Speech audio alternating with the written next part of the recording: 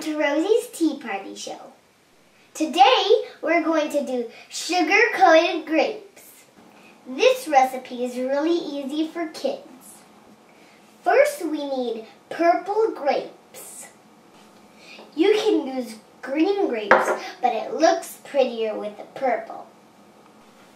You'll need two kinds of sugars, the crystals and the granules. These are the crystals. They're bigger. You can get these at the bulk food barn or wherever they sell things to decorate cakes. These are sugar granules. This is the sugar that most people use for baking. There are two ways to make the sugar stick to the grapes. One way is with egg white, the other way with apple juice. Some people don't want to eat raw egg white. That's why I'm going to show you how to do it apple juice. First, I'm going to show you how to do it with egg white. This part you might need a big person to help. My cousin Guppy is here to help. Hi, Guppy. Hi, Rosie. I need some egg white. Can you help me? Sure. You hit the egg on the side of the bowl. When you get a crack, you put your finger in and pull a shell apart.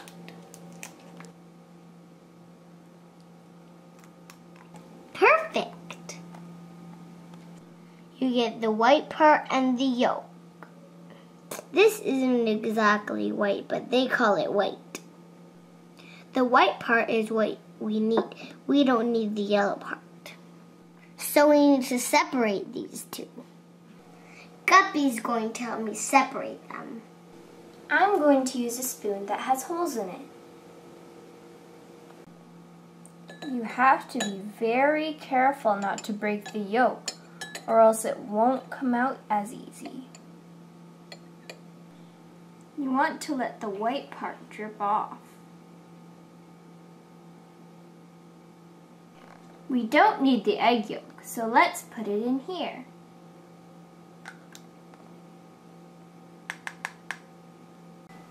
Pour the egg white in the big bowl. Oops, you're not supposed to put the bowl in too. Take a bunch of grapes, dip it in the egg white, and then put it in the crystals. Don't they look pretty? Now we're going to show you how to do it with apple juice. Pour some juice in a bowl.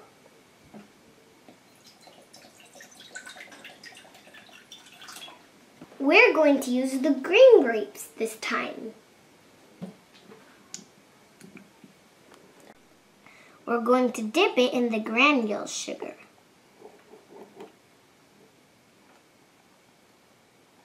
Make sure you get it well coated like this.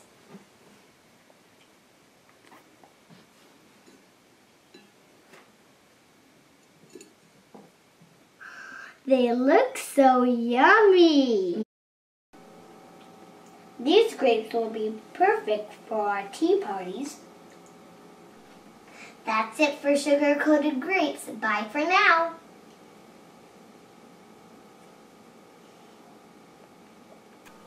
Hey, that's for the tea party. Stop eating them all.